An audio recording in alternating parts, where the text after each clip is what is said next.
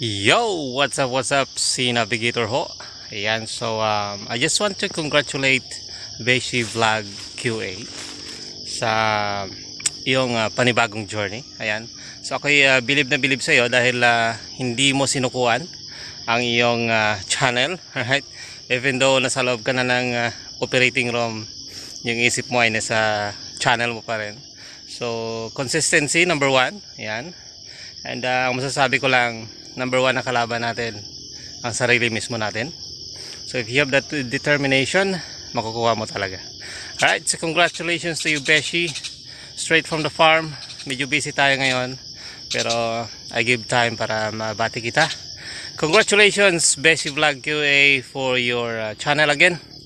Uh, newly monetized, right? Uh, shout out sa lahat. Fisher Vlog QA, yan, congratulations. Morning-morning na talaga ang iyong pangalawang channel.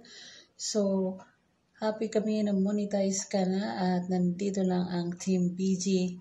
Makiki-BG lang din sa iyo. Congratulations again and ingatan ang tahe. Yan. Congratulations and good luck. Bye-bye.